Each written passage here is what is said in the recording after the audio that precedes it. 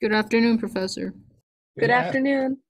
Good afternoon. Good afternoon. Thank you. Good afternoon. Good afternoon. And sorry, I'm a little, I'm, uh, I'm late. Uh, good afternoon. Good afternoon. And, okay, good, uh, good afternoon. Well, that was Caroline, Amanda, Caitlin, Kevin, Christina, Elda, Amy, Amy. I think, I'm not even sure who that, okay. And good afternoon, Kevin, Amanda, good afternoon, Amanda. Good afternoon, Alicia. Good afternoon, David Kay. Good afternoon, Jamalet. Good afternoon, Chloe. Good afternoon, Caitlin. Good afternoon, Felicia. Good afternoon, Sophia. Hi, Christina. Good, Elda. Good afternoon, Amy. C. Okay. Straight to it. Um. Oh, except that my board just disappeared again.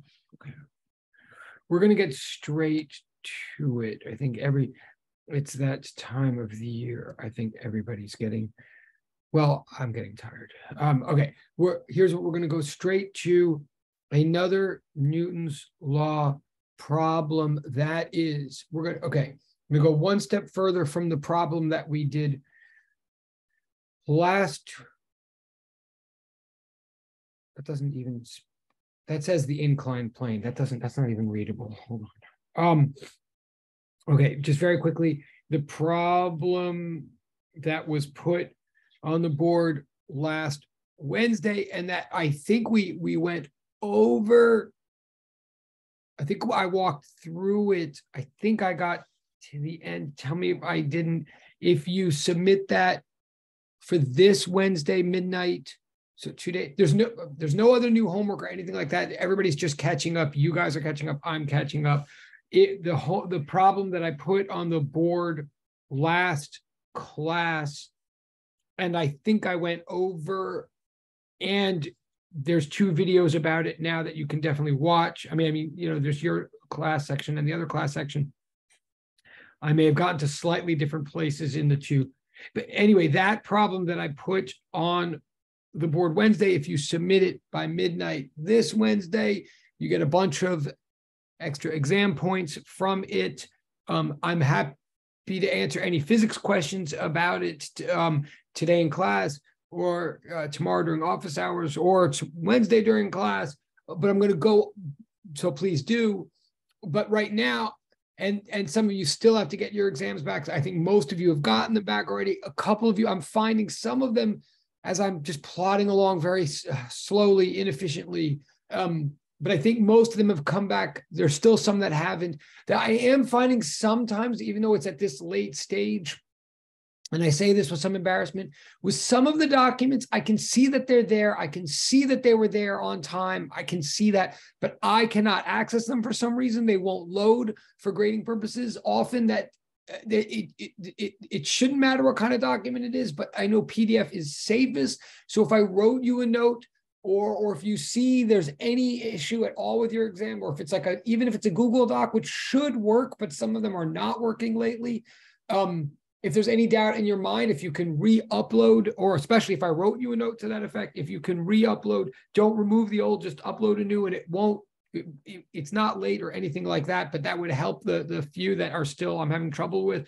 But anyway, um, but again, for everybody, whether you saw your score or not, you can get a lot more points if you do the problem um, that we walked through last Wednesday. You can also come ask me questions, blah, blah, blah. Again, to all of you, to, you know, we're all in this to do well, not to do badly. Um, and I know how hard many of you are working.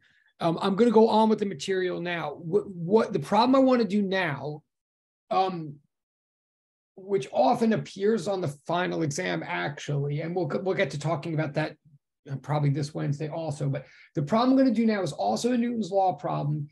Based on the last one. It's like again one step harder than the last one. I mean, it's a force problem. It's one step harder than the last one. What I'm going to do now is remarkably similar, if remarkably similar to what you did in lab a few weeks ago. And I know you submitted the report and all that. Um, hopefully, uh, even if um, hopefully what I'm going to do now will clarify some of the things that you were struggling with or thinking about in the lab. Hopefully, the fact that you did the lab will make this problem a lot more clear uh, and understandable. Um, um, and as I say, it's one step further from the last one we did. So, what's the deal? So, this is the deal. The problem now is we have a block of mass M on a ramp or you know on a lab table or something that's rough just like last Wednesday. Um, so it's rough. It has a coefficient of friction called mu. We could even, um, you could sometimes call that mu sub k. Sometimes we do. Um, I'll explain more why that is. I mean, technically, there are two different kinds of coefficients of friction. I'm, I'm only concerned with one right now. Sorry. Anyway, this block is on an inclined plane. The inclined, sorry, this block is on a surface. The surface is rough because it's rough, because it has friction, uh, uh, an amount of roughness. We call that roughness mu. I'm not even presenting numbers for this problem now. As I say, it's one step, maybe it's two steps harder than the last one. I'm just giving the names of the pieces of information. I'm saying that the, the, the coefficient of friction is mu. I'm saying the mass of the block is m. And then now I'm saying that much like in the lab, this surface that the block is on, instead of being purely horizontal, the surface itself is angled. It's a plane that we say is inclined at a certain angle, angle measured from the horizontal. That angle we call theta. And the ultimate, the ultimate question, sort of as always, is at what rate would this block accelerate along the plane if the plane were rough and if the plane were inclined according to these given pieces of information here. Um, so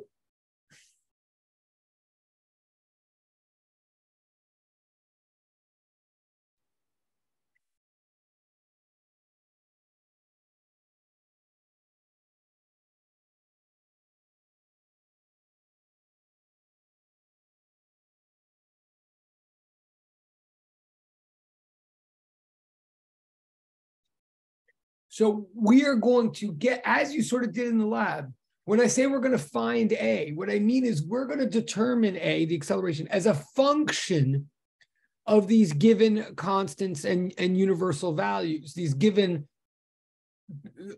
values, um, mass, acceleration due to gravity, lowercase g, um, theta, the angle, and mu, the coefficient of friction. So we're going to get an answer that doesn't have numbers in it, that just is a long expression um, containing no more than those given values. No more than.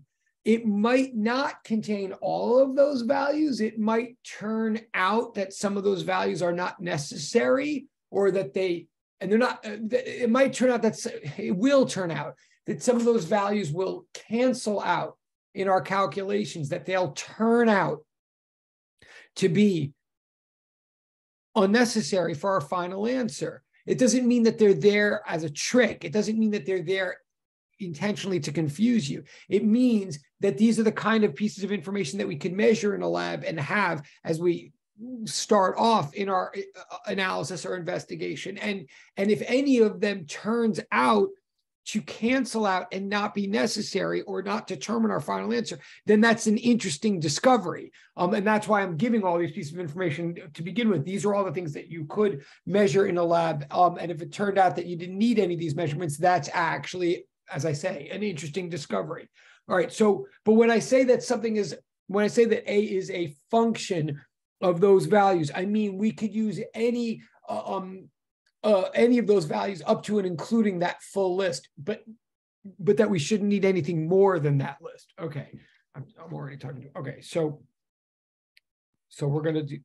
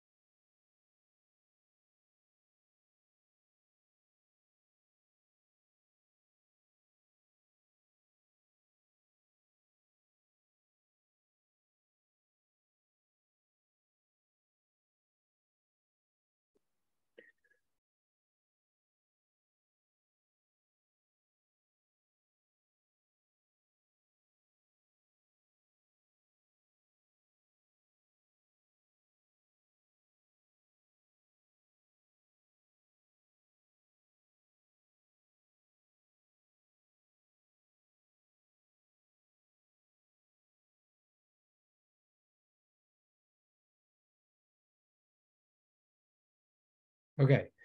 All right. So I'm just right here. I just repeated what the givens are for the problem. We have a mass M. We have roughness of surface coefficient mu. We have angle of inclination for that surface theta. And we're assuming that we're in a lab at the surface of Earth. So the downward um, free fall acceleration uh, constant due to gravity is lowercase g. And we're assuming that lowercase g points down, points down, um, um, points down. And whether that means negative or positive, we will ultimately assign in our coordinate system and use when we uh, analyze all of our forces but but the actual value of that acceleration is just is just a, a number like 9.8 or 10 or 32 if we're in feet um, um, eh, eh, so just a number that we assign with a letter called lowercase g and it doesn't have a negative or a positive um, assigned to it. That, that somebody actually got concerned about that in the other class. I'm just saying. So G is just the number. Whether we can assign negatives or positives will come up once we're analyzing all the forces. Okay. So our goal, okay, sorry, uh, our goal is to calculate acceleration while this thing is sliding. Sorry, someone's here while this thing is sliding. Um, and um, and I'm going to I'm going to embark on our normal procedure, system schema, free body diagram, component free body diagram, da da da da da. Um, well, one thing I have to say from the start, though, since this thing has friction, and this is one thing that you um, uh, found out in lab lab five, since this thing is friction,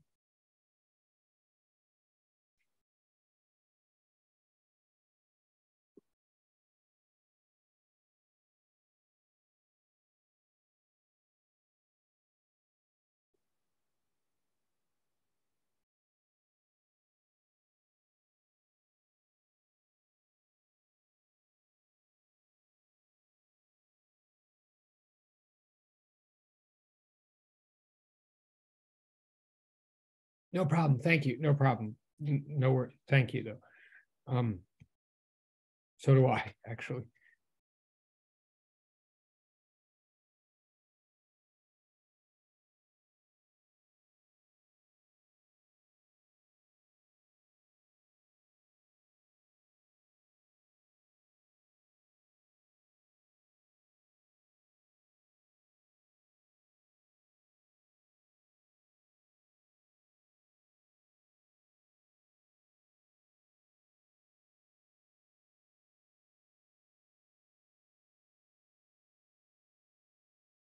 Okay.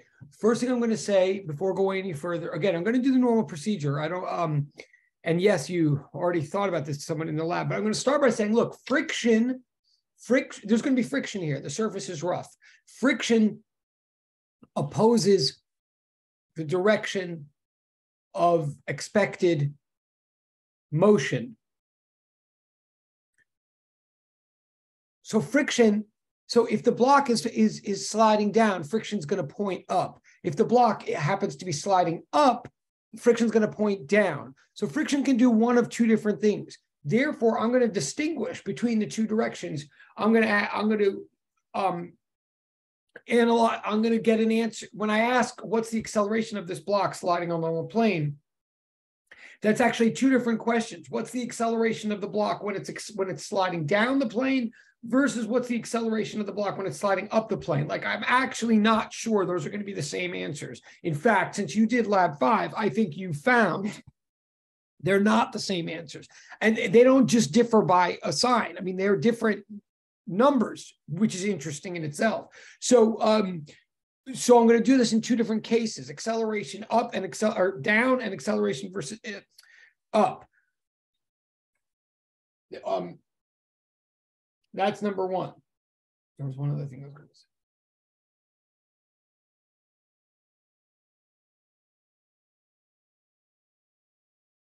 All right.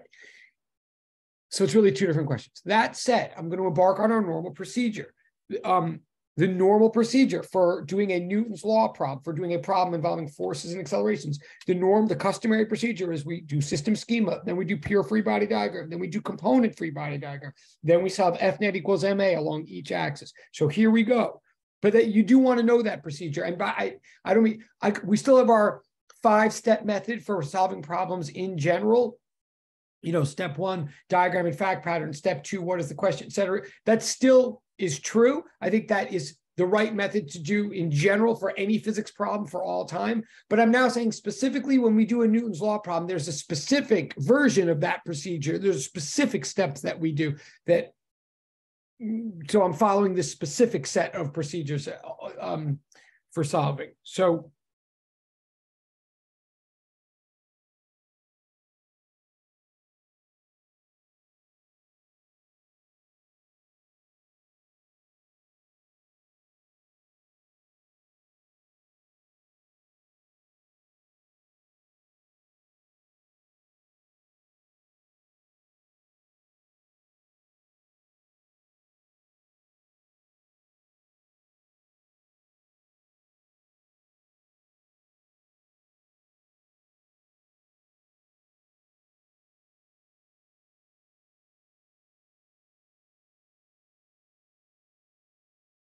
Okay, so first I draw a system and okay, so first I draw a system schema.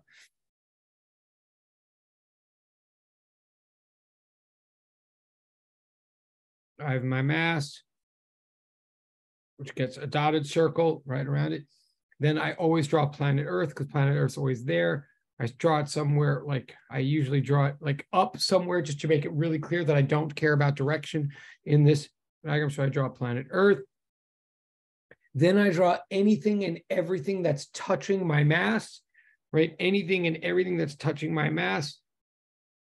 So we'll call that the, the, the table or the plane, as in the surface, you know, the, the, the slide, the plane, the table, whatever you want to call it. And there's nothing else touching my mass. So planet Earth is not touching my mass, but it is always there, always pulling gravitationally. So it gets a line, right? It's one of the exceptions to the one touch, one line rule. It's not touching, but it is planet Earth, so it gets a line. Then the plane, the table, the lab table, whatever you want to call it, is a surface that is touching my mass, but it's a surface that's pushing against the surface of my mass right? It's underneath the mass, two surfaces pushing together. So that's a case where there is touch. So there is a line, but since it's two surfaces pushing, we always say that there's always two lines.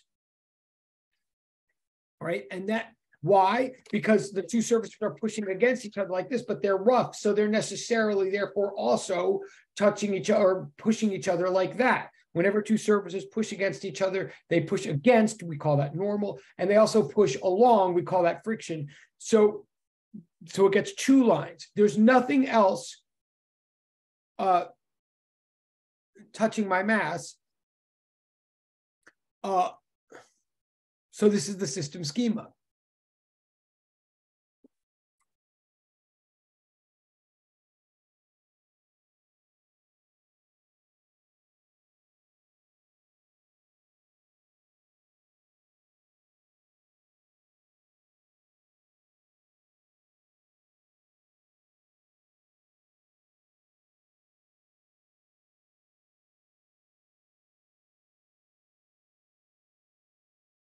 To be clear, one thing about the system schema is this is true for both cases. Whether the mass is sliding down or sliding up, this diagram is true.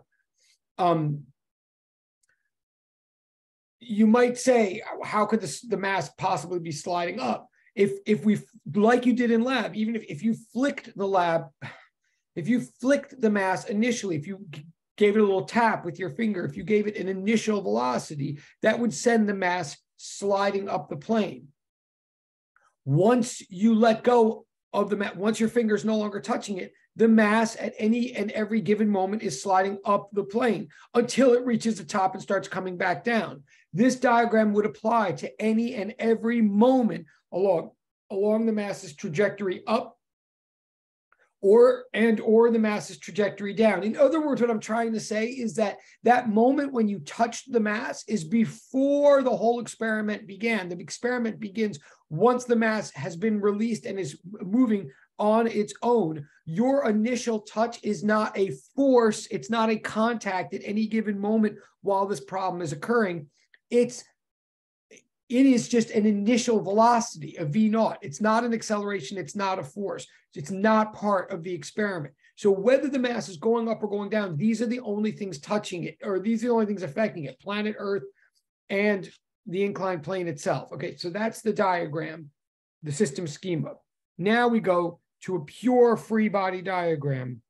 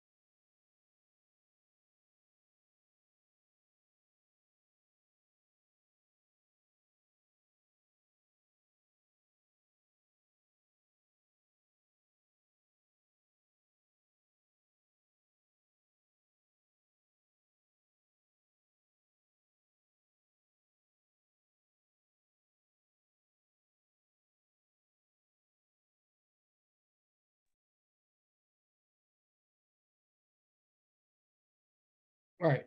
First, if the mass is sliding down, so this is at, at some moment, at some point in time, where the mass happens to be sliding down. Okay. So I look at my free body. So I look at my, and remember again, like now direction matters. The reason I didn't draw two different system schemas, system schema never cares about direction. System schema is just there to tell me what forces are actually acting. Now in the pure free body diagram, I have to actually note what directions they're acting in. So direction now matters. That's the whole point of the free body diagram. So now whether we're going up or down is going to matter. Now, first of all, there's that planet Earth in the system schema. It's always there. It always is pulling on our mass gravitationally down with a force of mg, no matter what. So that line in the system schema that points to planet Earth becomes an arrow in the pre in the free body diagram that points down called mg. Always, always, always. Okay. Now there's two more lines in our system schema that's going to make for two more arrows in our free body diagram, in our pure free body diagram. Well, one of those arrows. Oh, pardon me. Hold on one second. Uh, sorry. Um, pardon me. Pardon me. Sorry. Yeah, I coming. Uh, sorry. Yeah, sorry. I thought I thought you were all setting that up for me to go get him. So here. Sorry, here.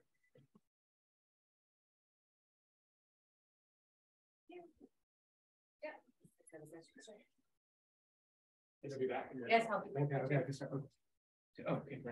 Sorry, yeah. Sorry. Um, Okay, so one of those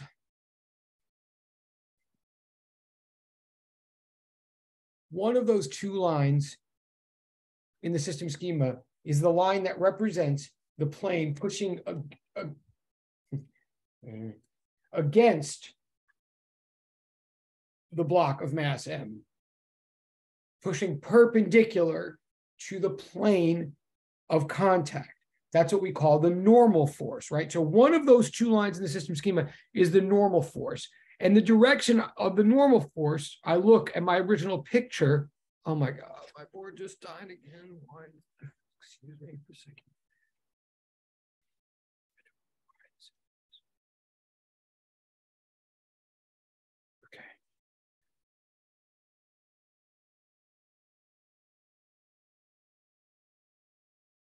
Okay, if I look at, it's gonna, yeah, if I look at the picture, the picture is important. Now, this picture is not a diagram, right? This is like part of step one, DFP. Maybe I should be making this clear. That picture is like the picture of the facts, the diagram of the facts. And it's important not only because it's labeling the variables and constants that I'm going to use in my equations, but also it's showing me the way to orient my perspective. Like in that picture, the inclined plane happens to be going from bottom left to top right, right? That's just that's arbitrary. Obviously, a plane could be going in any angle in a lab, but that picture says that the plane is is going. Sorry, I can't. Is going. Wait, why can I not? It's weird. Oh yeah, okay. The, that's the mirror thing. Right, right, right. All right. That plane is going like that, according to the picture. So, so therefore, the normal force arrow has to be going perpendicular to that surface depicted in that picture. Okay. So the normal, this is kind of important for the final exam. So the normal for like this picture doesn't mean anything about directions. That's just showing me objects and showing me what how many forces must be in my free body diagram. There's three lines there. So there's going to be three arrows in my free body diagram. But the arrow that represents the normal force now must, according to according to uh, my original sketch, must be going off into the left. I hope that's clear. Like if my like if you were taking an exam, right, and and I just said in words like, oh, uh, let's let's analyze a rough inclined plane. You could draw your plane any way you want. I mean, the plane could be going the other way, right? But then once you draw your plane, and this is part of why you have to draw a diagram in step one. Once you draw your plane, then everything's going to be like based on that. So that diagram was DFP. Now, arguably, everything I'm doing here for, and then we said, what's the question? The question is solve for A. So step two, WIQ is A equals question mark. Now, everything I'm doing here, all the step A, step B, step C, all these diagrams, arguably, this is all part of GDP. This is all general definitions and principles. And or step four, uh, you know, um, particular application and work. But what, so I hope that's like, a, but notice that's why I'm calling these steps like A, B, and C rather than one, two, and three. I hope I'm making some sense, but I'm sure I'm not. But anyway, I've got now two arrows in my free body diagram. That's two of the three lines in the system schema that have been now covered. These two are true no matter what, whether the block is going up or down. They're just both they're both based on the orientation of planet Earth and the orientation of this plane. But now, okay, now I say we are picturing a situation where the block is sliding down the plane. So that other line in my system schema, which represents the force of friction, that, that arrow must be pointing up and to the right. Like this is friction now. If the block is indeed sliding down, you see what I'm saying? And notice these are all different pictures, all accomplishing different things. In this picture, all I'm putting in is forces. I'm not putting in velocities. I'm not putting in accelerations. I'm not putting in other objects. These are the forces acting on the mass in the directions that they're actually asking. So we, uh, acting. So we've got the normal force going up and to the left. We've got friction necessarily perpendicular to that normal force, friction going up and to the right. We've got uh, weight, the force of gravity pulling straight down. That is my pure free body diagram, my pure free body diagram uh, for some moment when the mass is traveling down the plane. And down means to the left, according to my original picture. Okay, I think you get that. Also, hopefully this is familiar. You've seen this before from the lab. Now, before I do anything with it, just to make it clear, I'm going to go to what about when we're going up the plane, which again is totally possible. All you have to do is give a block a little nudge at the beginning and then it'll go up the plane. It won't go up forever. It'll go for a while and then start coming back down, but it totally can go up. So, so we're going to do now sliding up the plane. Who's with me? Okay.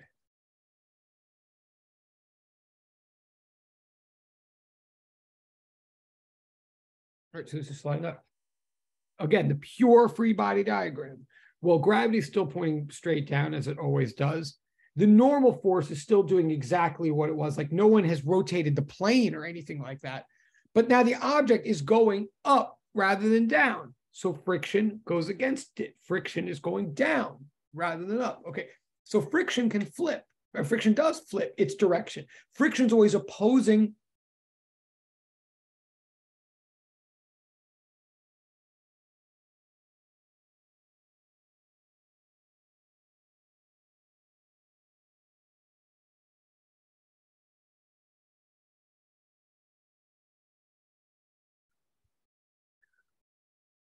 Okay. Now, what is the purpose of all this? I, I mean, the, the purpose is to take these forces, plug them into the left side of F net equals ma and solve for acceleration. Um, but remember, F net equals ma is a vector equation. Well,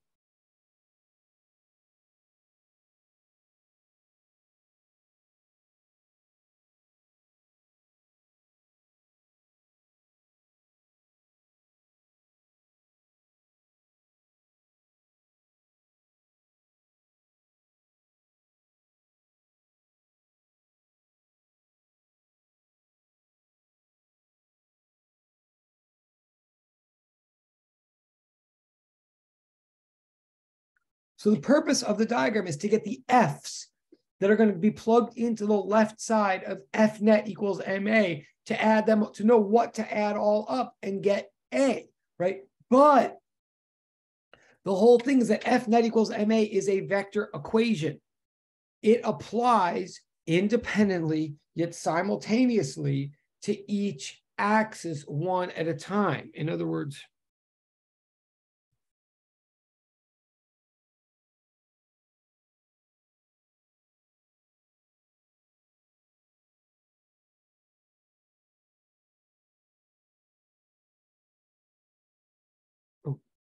Thank you.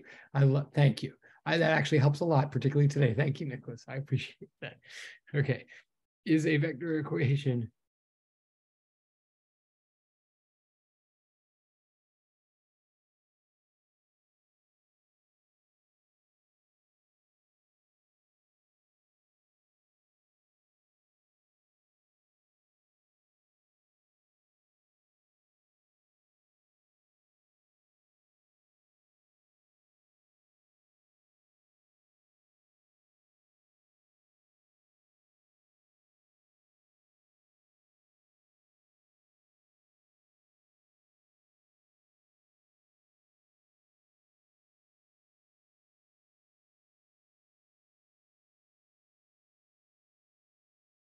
Okay, it's it's really important. And again, this is one of these things that I, I honestly I did not understand this until I did.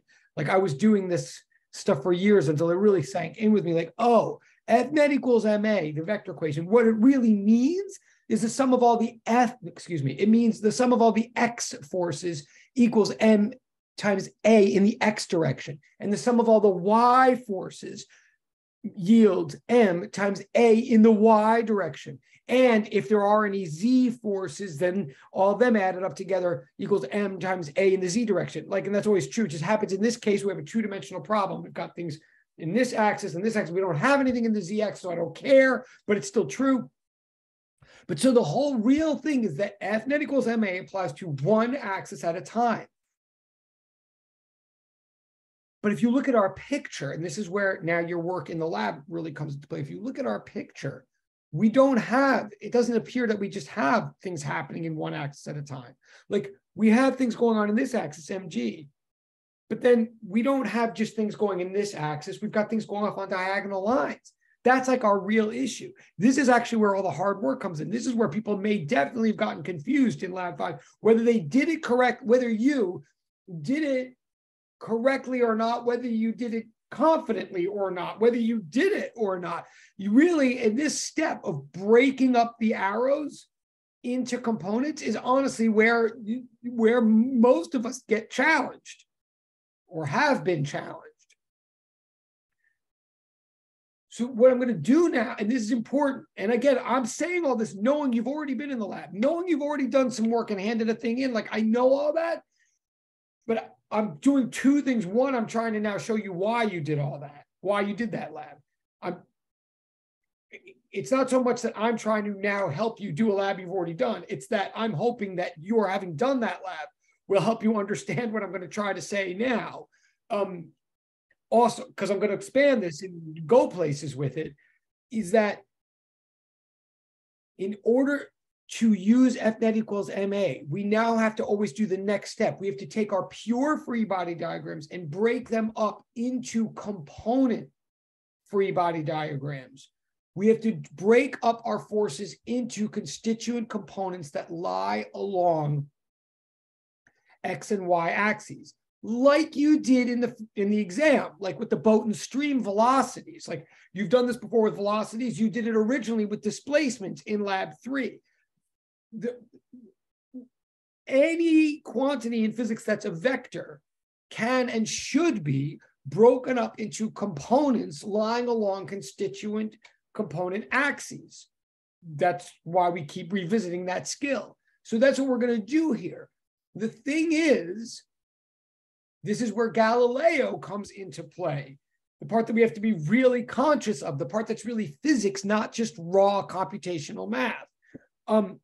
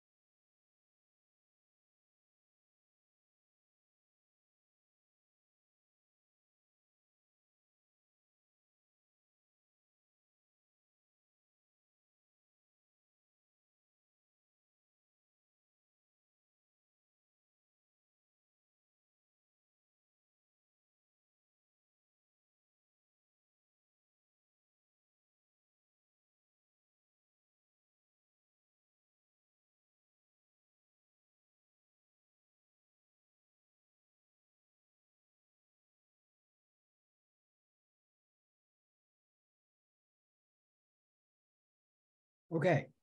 In order to break our force vectors into X and Y components, we have to know what our X and Y axes are. This is the Galileo thing. We have to choose a core. Physics will be true in any coordinate system, but it's true only within a coordinate system. So we've got to know what coordinate system we're in and stay in that coordinate system in order to run the laws of physics. Okay. What I'm going to do now, now this is very subtle. I've got 35 minutes. I'm going to do something subtle now, I, uh, possibly challenging.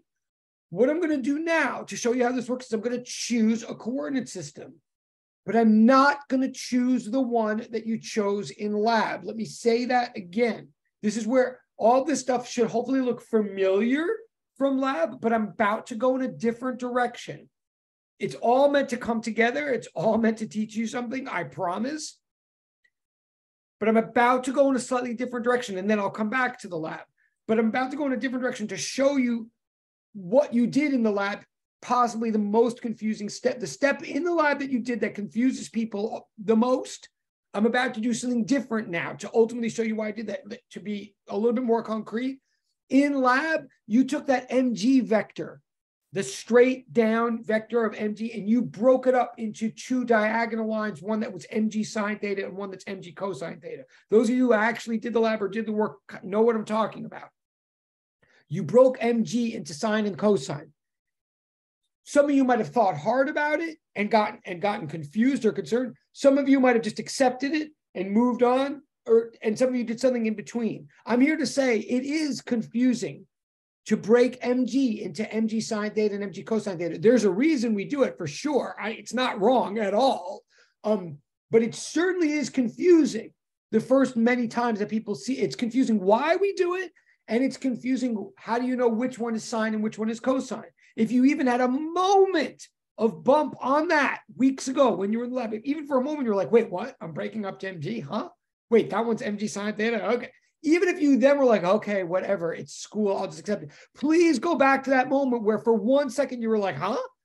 I broke up MG. Why are we doing that? And like, how do I know which is which? If you even thought that for one minute, first of all, praise yourself. You're not crazy for being confused about that. It's not wrong, but it is confusing. If you even thought for one minute, why am I breaking up MG? Good. That's a good physics question to be concerned with. What I'm going to do now, I'm going to show you why. My ultimate goal is to show you why. Again, often this is all on the final exam, so that it's not just like abstract, like meanderings. I'm going to show you why what we did with the MG, but the way I'm going to show you is first, I'm going to do something different. I'm going to do this problem without breaking up Gen MG. Okay. So you can see what happens when you don't. I, I'm not going to do something wrong. I'm going to do something right now, but something different from what you did in lab. So please bear with me or try. Okay. And or stop me if you have any confusion. But I'm about to do something that's not going to look like what you did in the lab. And it, it is okay. What I'm doing is this I'm saying, and this is all about Galileo again. Galileo says the laws of physics are the same in all different unaccelerated reference frames, coordinate systems. So Galileo says it doesn't matter which one you choose, they're all correct as long as you actually consciously choose one. So the, the thing about Galileo is it means we do have to choose no matter what choice we make, the laws will be correct. But some choices are more convenient for problem solving than others. In fact, sometimes the choice that is ultimately the most convenient doesn't at first seem like it would be. This is part of the art of physics is making these choices and knowing how to set up problems before you even do the computations. What I'm going to show you now is this let's say, let's say we choose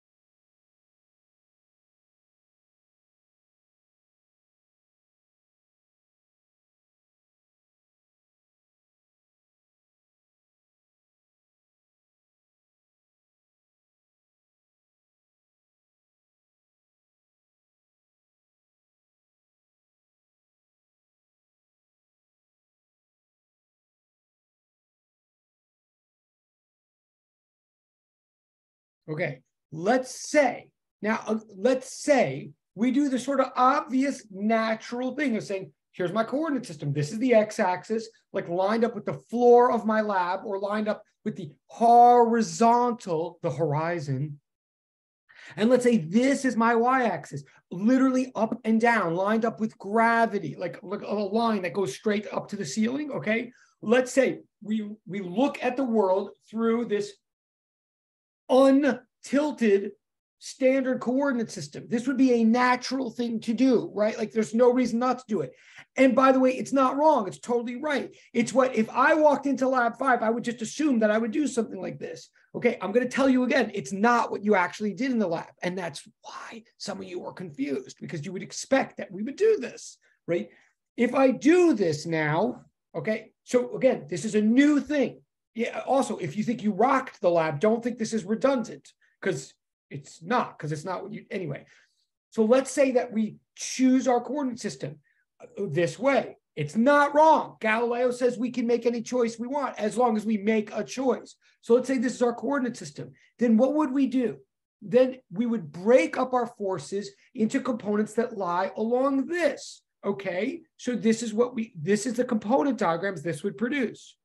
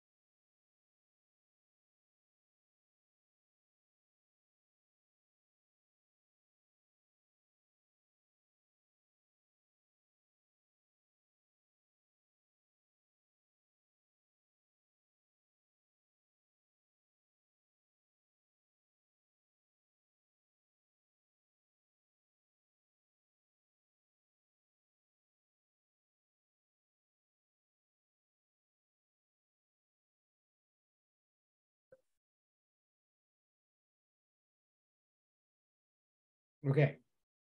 Like, so I remember my, our original pure, free body diagram for down, there was mg pointing straight down. Okay, mg is pointing straight down, so it's pointing straight down. So it's along an axis that's that's already my y-axis. So I don't have to do anything to mg. But see, friction and normal, if I choose this coordinate system, friction and normal are off axis now. They're diagonal lines. They have to be broken up into components that lie along the x and y axis. So first, let me look at friction. So right, friction, like turn back to your picture of down, friction's pointing up and to the right, I believe. Yeah.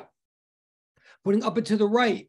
So that angle there from that friction makes with the horizontal is theta. The angle that friction makes with the horizontal is theta. How do I know? Because the whole inclined plane was angled from the horizontal at theta, right?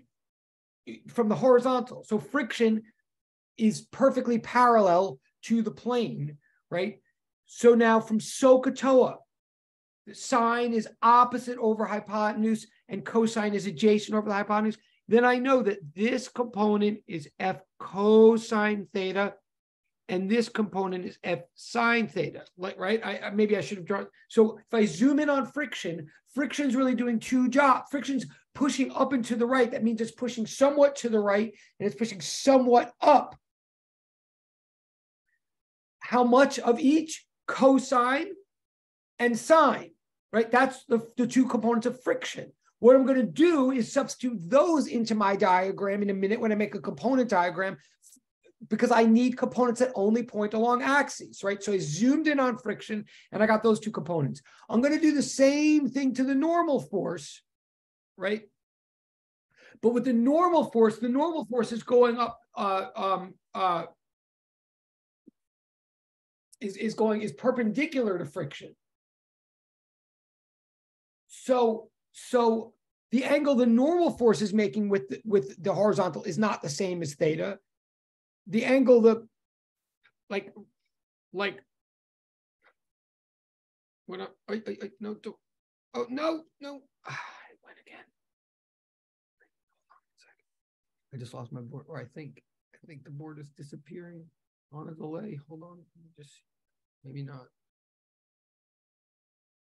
Well,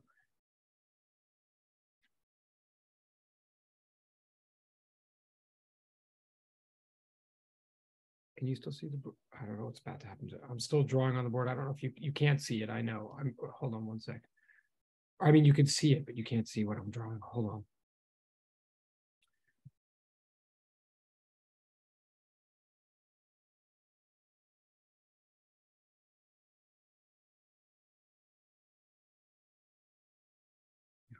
Hold on. It's coming back. I promise.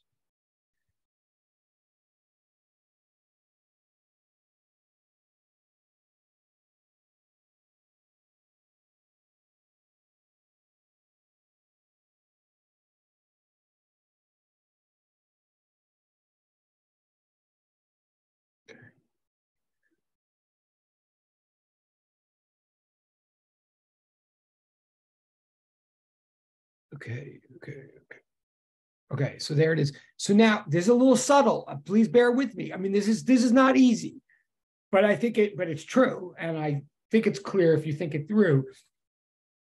Friction, I did first. I put something that's making this. I probably should have put friction over to the left. It doesn't matter where I'm putting it, but friction I did first because friction is angled exactly the way the plane is angled. Like, let me remind you, and you might want to put this in your notes. The whole point is theta was a constant that was given to us. We know theta is the original angle of the original plane.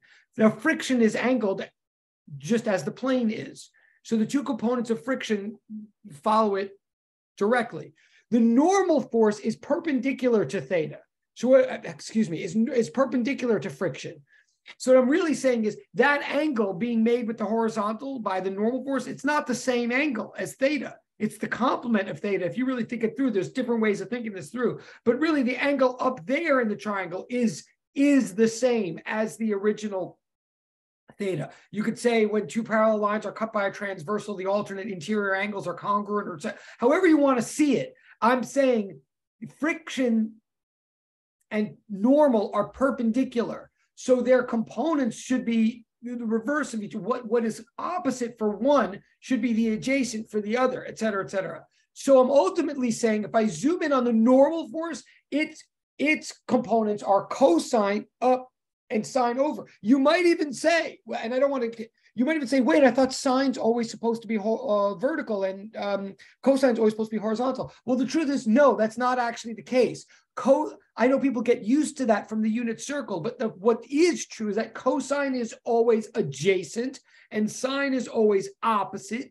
And it's opposite depending on what angle you're talking about. You could say to me, wait, well, then couldn't we just draw the angle down at the bottom and keep our life simple? You could draw a angle down at the bottom, but that wouldn't be the same as the original theta that we were given in this problem. It would be the complement to it. I know I'm going a little fast. You just want, might want to think that through, but I'm saying the angle at the bottom of the triangle of the normal vector is the not the same as the tri as the angle at the bottom of the friction triangle. They're complements of each other. Why are they complements? Because friction and the normal are perpendicular to each other. What am I saying with all of this? What is my point? My point is, according to this coordinate system, the one that would seem easy and natural, when you just walk in the room and you're like, here's my, I'm just looking at the world through graph paper that's just like this. And I'm just looking at the floor as an x axis, and I'm looking at the, like at the walls as a y axis if you take that seemingly natural coordinate system, there's nothing wrong with it.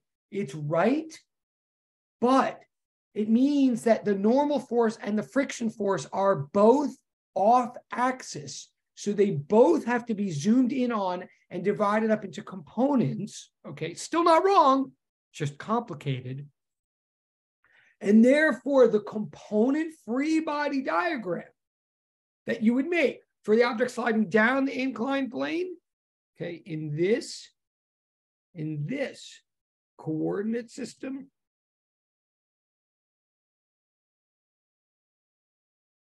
the component, the component FBD for mass sliding down is is there for this.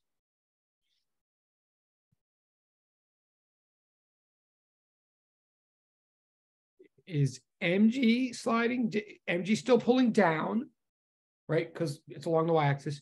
But then we've got friction pointing somewhat to the right, F cosine theta, and somewhat up right? If the object is sliding down, then friction is pushing up and to the right.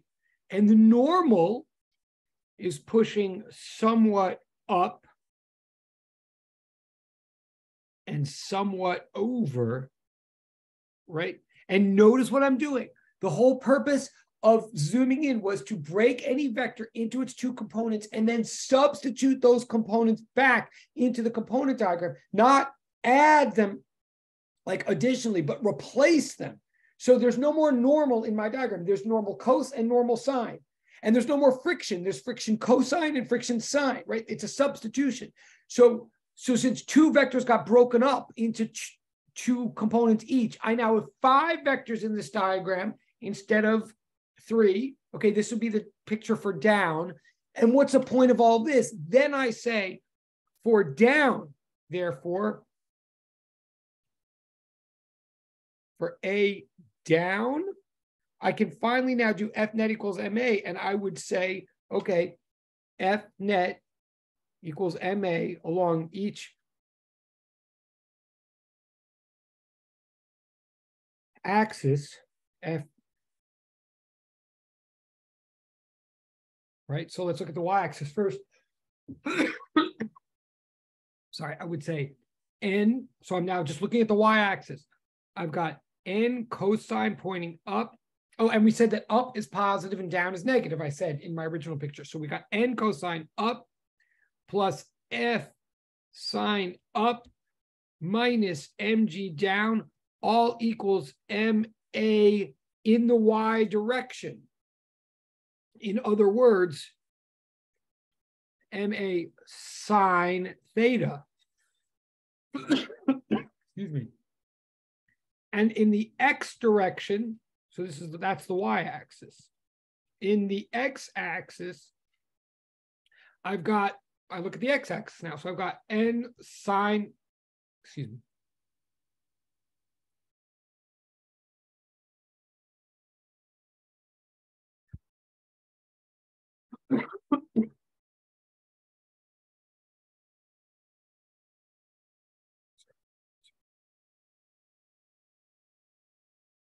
Make one correction. I'm looking back at my original coordinates where I decided positive and negative. I'm deciding that up is positive, right, and down is negative. But the block is sliding down the like it slides, it accelerates down to the left. So I actually think it, this is a minor point, but I think actually left should be negative and right should be positive. This is uh, again a total choice. You can do whatever you want. I think that'll make it a little bit easier. If you don't like that, you can change it. But um, but I'm just because the block is actually sliding that way. So I would say with that, in sine theta points to the left, that's positive, and F and friction points to the right, that's negative. So all that equals ma cos. Oh, sorry,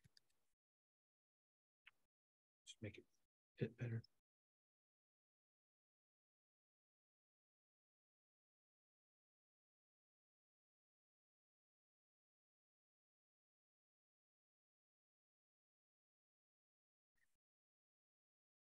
So I've got two equations, two unknowns. What am I solving for? I'm solving for A. But but the reason I need two equations here is I'm solving for A, but I also don't know N. So I've got two unknowns, two equations. Like, like I'm solving for this, like that's unknown, unknown, but this is unknown too. This is unknown.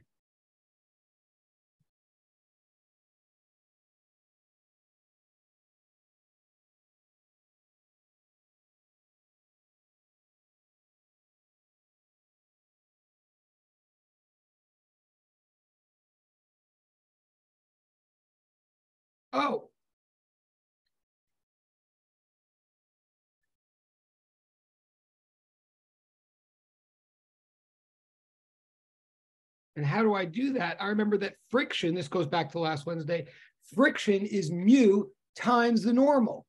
So I'm going to substitute that in. So we're almost there, but this is a lot, right? I mean, it is a lot. So I go, okay. I go and cosine theta minus mu times n plus mu times n sine theta minus mg equals ma sine theta. That's from one equation. And from the other question, equation, I say um, n sine theta minus mu n cosine theta equals ma cosine theta. Now I have two equations and two unknowns. Unknown, unknown.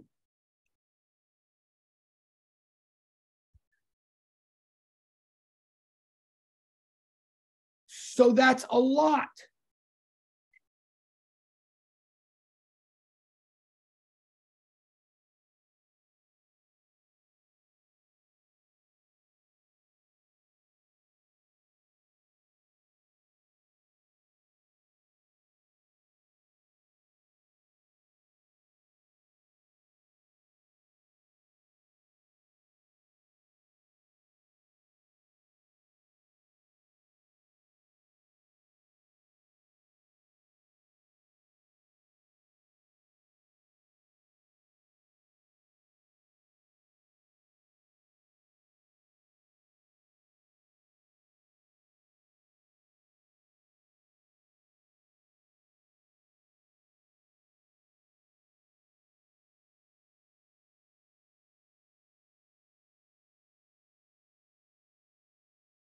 Okay. I'm saying now this is solvable. This is not incorrect. I'm not trying to waste your time. This is all correct. And this is what we would do if we just kept the natural coordinate system. We would break all the forces into the components this way. we would write each equation, and now we've got two equations that have n in them and two equations that have a in them. We would rewrite each equation for n, set the two n's equal to each other, or substitute in and solve for A. I might, in fact, even show you that on Wednesday because it might, in fact, even be on your final exam. And I'm not trying to play with you. Like I'm, just, I'm not sure yet. Sometimes it is, sometimes it's not, and I'll let you know. But, but, but it's a lot. You could see this is a lot of work. Now it's not wrong. It's totally right, and in fact, it's even natural. It's might maybe what we would all do, or we'd be forced to do, if we if we were just sort of doing the math step by step. But but I'm going to pause on, I'm going to leave that for there and say, but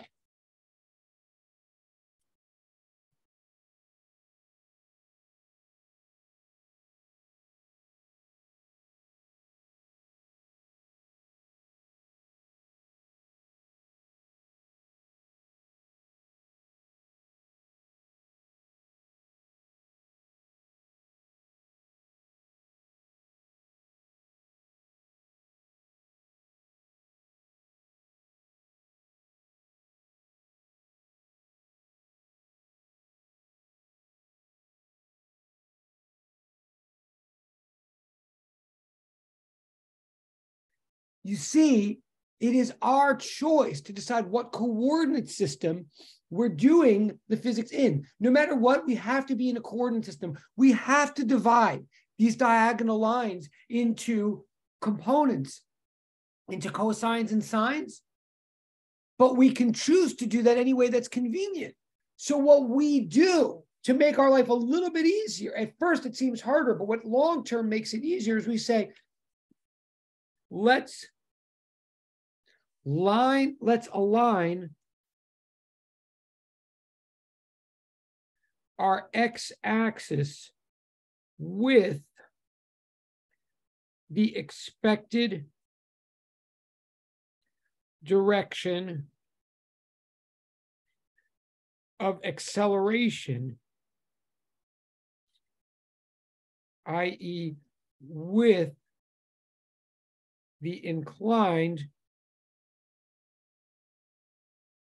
plane. Let's, okay, what we did, you might have realized that you might not in the lab. What we did to solve this, or what you did, is we said, let's tilt our head. Let's say that this is the x axis and this is the y axis, we aligned our x axis with the direction in which the mass is actually going to accelerate with the plane itself. So we said in this case, if we till if we because we can do this, is what Galileo says. The laws of physics don't change just because we're looking from another perspective.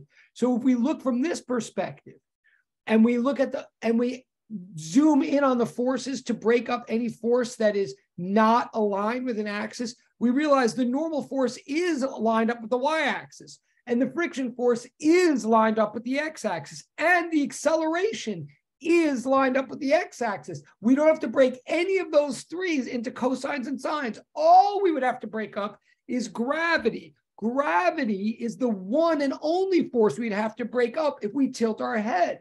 So therefore, we tilt our head and we say, oh, gravity, you are actually a hypotenuse in this world. This is mg. It actually has some component that's pointing along our, our, our new x-axis, and it has some component that's lying along our y-axis. Remember, an x tip to tail plus y tip to tail equals the whole vector, right? And in this case, you see what I'm okay?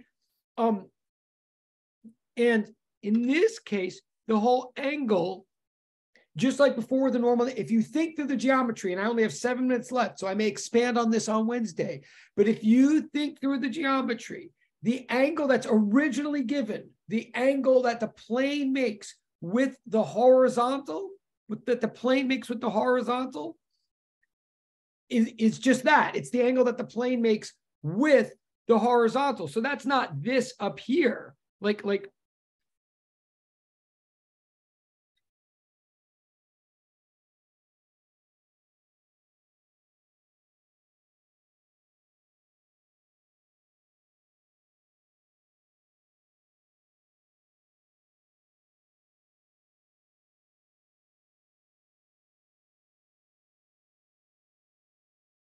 right? If if that dotted arrow the, along the x-axis is parallel to the plane, right? Then the angle between it and the vertical is not the angle that it makes with the horizontal. It's parallel to, I mean, it's complementary to that.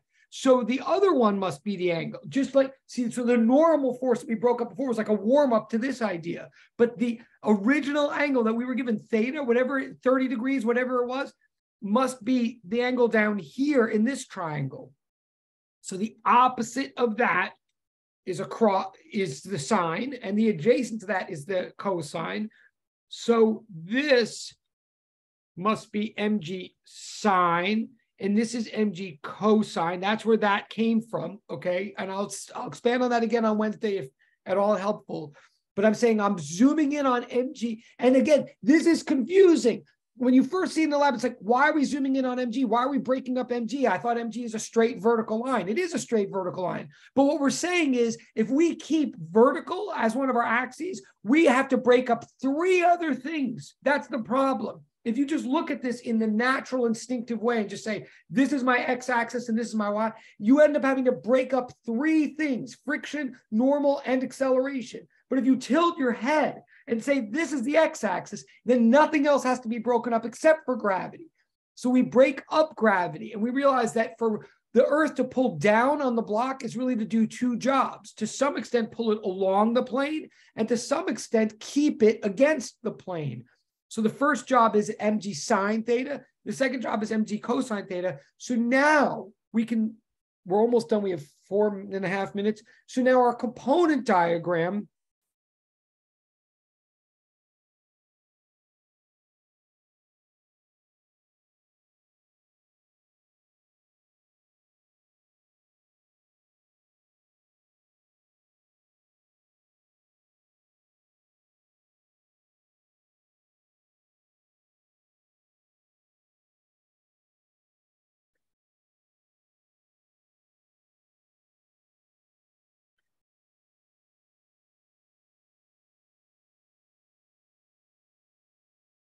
So the, the component diagram in this coordinate system becomes, okay, N is still what it was. Friction is still what it was, but mg now gets broken up into mg sine, like you did in the lab, and mg cosine. That looks confusing when you first look at it. What I'm saying is it's a heck of a lot. The reason we do it is not because it's the only right way. It's because it's ultimately, it's confusing at first but it's a more convenient way than the other thing. The other thing, we had like five arrows. Here we only have four. And the other way, A had to be broken up into sine and cosine, and A won't have to be broken up. In other words, here we can say, so now we do F net equals MA along the y-axis. Along the y-axis, we say N minus mg cosine theta equals MA along the y-axis. But here, because we chose an x-axis that is fully aligned with the acceleration of the block, along the y-axis, in this case, there is no acceleration. The block is not flying off the plane or breaking into the plane, right? I couldn't say this in the other coordinate system, but here, here I can say that AY equals zero so not so not just a sine theta or not just a, but literally zero. So here I can literally say n equals mg cosine theta. That's much simpler than the other thing. And if I do, if I break up the forces in the x direction, now I'm going to say mg sine theta minus friction equals ma X and MAX is just MA. There is all of the block is entirely accelerating along the x axis. How do I know? Because I chose the x axis to line up with the acceleration. That's part of the point of this. Oh, I'm sorry. So, and what is F? F is friction. Friction is mu times the normal Well, what is normal? The normal I just found out is nice and simple. It's just mg cosine theta. So I can say, and we're just about done. We have one minute and we'll, we're done.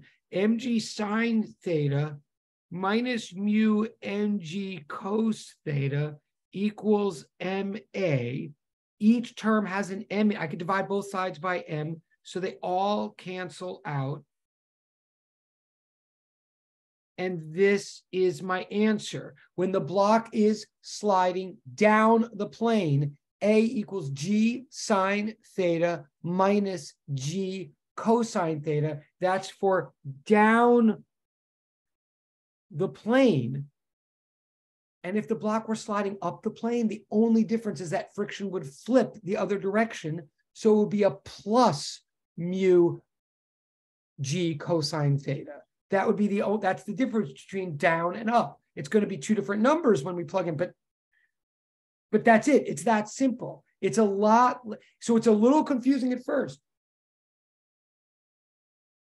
but it's a lot less work than if we did the natural thing of lining up the x-axis with the horizon and the y-axis with gravity. I will expand again more on this or I answer more questions on Wednesday, but this is what you did in the lab. This is how you get the acceleration of a block going down a rough inclined plane. And this is why and how you break up gravity in order to do that. Okay, thank you for being so patient. As usual, that's it for today. I'll be around tomorrow if you want to come see me, et cetera, et cetera. Um, you are all great and very patient, and we are done.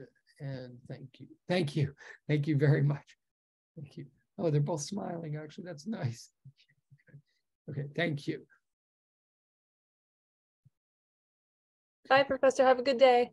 Thank you. Thank you, Carolyn. You too. Thank Have a you. great day, Professor. Thank you. Oh, that was Amy. Thank you very much. You too. Thank you. And thank you, Kevin. Thank you, David. Thank you. Um, uh, Professor, I have a I have a question about like um the